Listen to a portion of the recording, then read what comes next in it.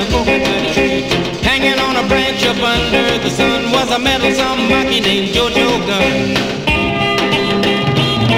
Old Leo the lion came down from the mountain to get a drink of water from the jungle fountain. Jojo the monkey started telling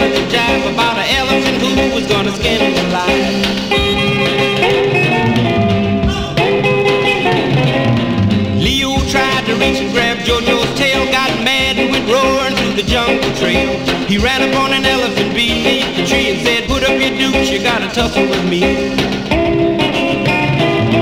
No Lego from Asia made a non-stop flight, trying to make it in time just to see that fight. A crocodile phoned and reversed the charge, coming all the way from Egypt on a local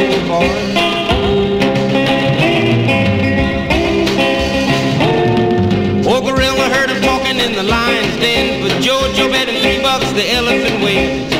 Yelled to Leo, go on, knock him down. He don't outweigh you but a thousand pounds. Leo led wailing with a left uppercut. The elephant took a snoot and grabbed a cocoa nut. Leo fired a beautiful short right cross. That's when the coconut landed up against his jaw.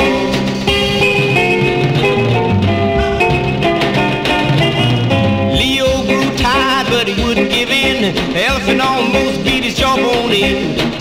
Said they fought furious all day. He couldn't understand how Leo got away. Jojo running everywhere, spreading news to the zebras and the leopards and the kangaroos. A hoot owl reported everything he saw, had his eyes wide open and called it his own.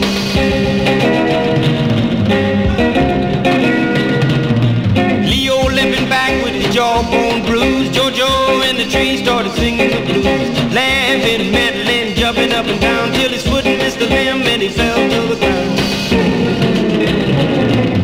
a bolt of thunder and a streak of heat, Leo covered Jojo with all four feet. Jojo was screaming with tears in his eyes, said, "Please, Mr. Leo, I apologize."